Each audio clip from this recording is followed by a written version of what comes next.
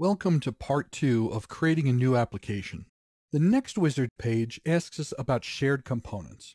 As you can see from the description here, shared components are common application elements that can be displayed or applied across multiple pages in an application. So think about something like a list of values.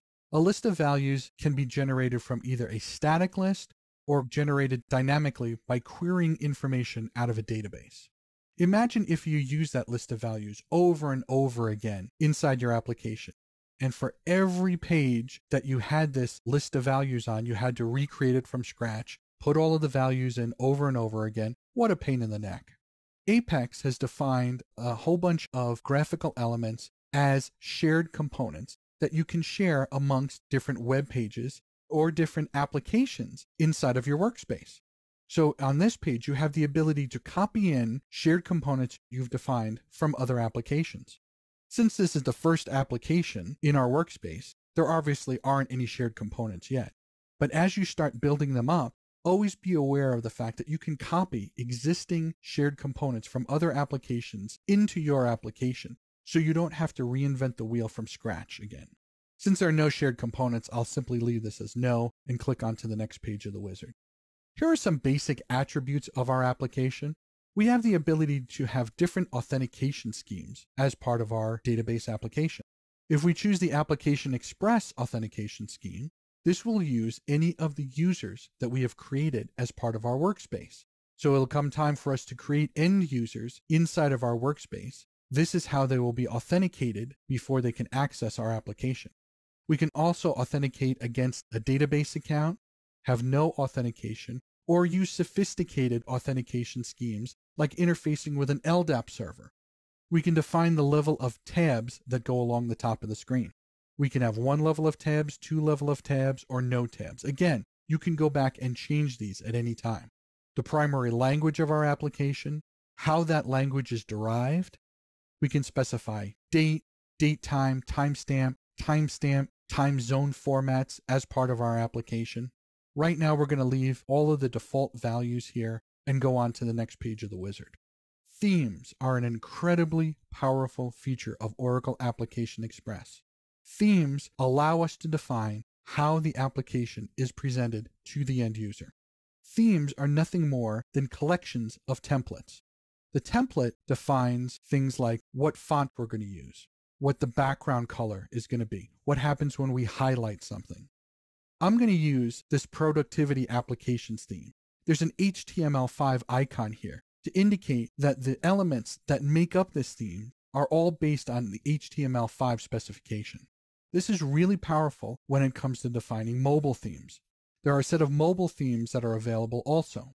They're not available here because if you remember on a previous page of the wizard, we said we wanted to create this application with a desktop user interface.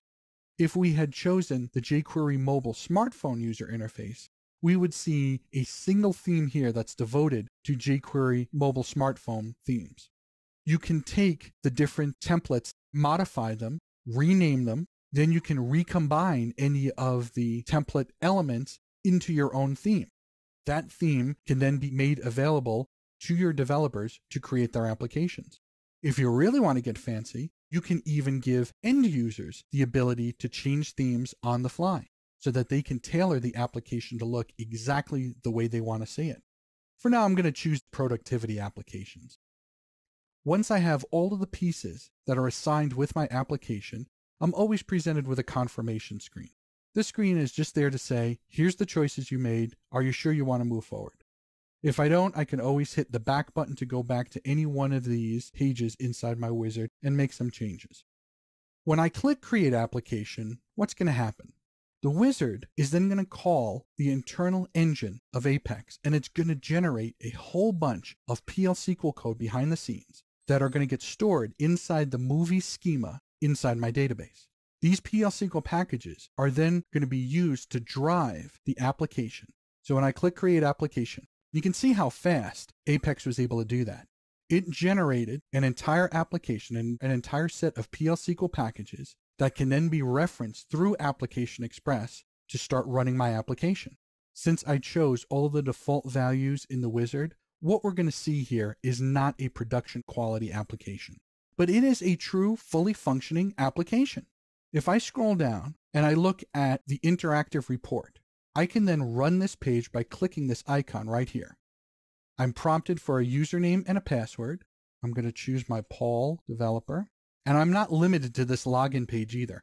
I have the ability to change this login page so that it looks more like a typical login page that's associated with an application.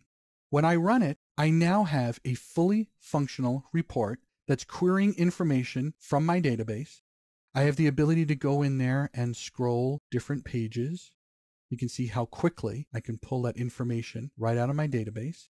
I have a pencil icon that gives me the ability to edit a particular value. So when I edit this value, it's going to take me over to the form page so that I can edit the drive movie. If I click on that, I'm taken here. You can see I already have a couple of simple graphical elements. Oracle was smart enough to realize this was a date field. So it gives me this little graphical element that I can use to alter the date of this record. I can delete the record. I can save the record. You can see that I've saved it with the new date and I can see the information there. This report can be sorted by a whole bunch of different values here.